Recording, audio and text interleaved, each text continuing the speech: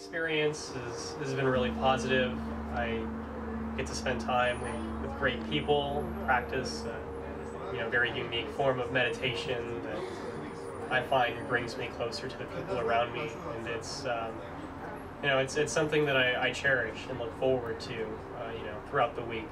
And so I'm, I'm really glad to be here.